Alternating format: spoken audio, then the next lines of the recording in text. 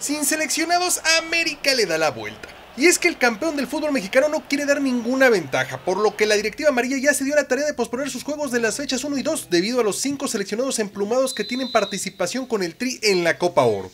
Moisés Muñoz, Adrián Aldrete, Juan Carlos Valenzuela, Miguel Ayun y Raúl Jiménez son los hombres que acompañan al tricolor en un torneo que tendrá sus semifinales el próximo 24 de julio y la final el domingo 28.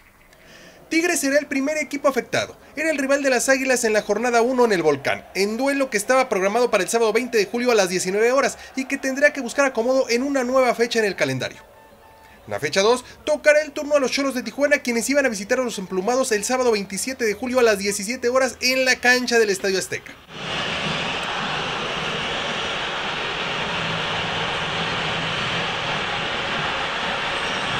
Será hasta la fecha 3 que se juega media semana cuando América, incluido el refuerzo colombiano Andrés Andrade, debute en el torneo con una visita a León, equipo que seguramente ya se relame garras y bigotes para recibir al Monarca.